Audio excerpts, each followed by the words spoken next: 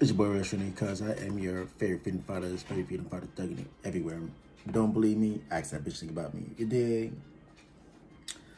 I fuck with 50, whether you want to fuck with 50 or not. People pick and choose when they want to hop on and off the bandwagon.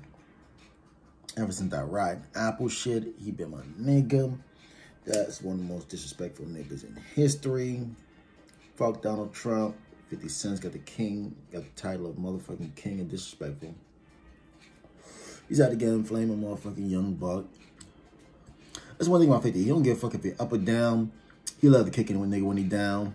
Free young buck, free young buck, free young buck, free Bati boy buck.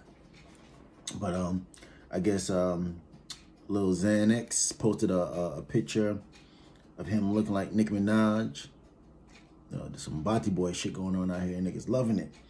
And 50 Cent look like like they made look like Young Buck and Lil Nas X made a love connection. Cuz. You're not gonna let nigga live. Crazy shit, man. Shout out to 50 Cent, man. Shout out to Young Buck. I want to see them end this beef. Free Young Buck. His contract and from jail. Tragic, tragic, tragic. I had the opportunity to interview Young Buck, um, I want to say about two and a half years ago. You know, I got plugged up with Charlie P, his manager from like, was that 1080? Whatever that shit is called, his little camp shit.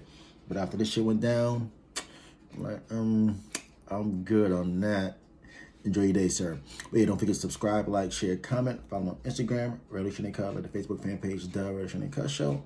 Until next time, small for your boy, Triples.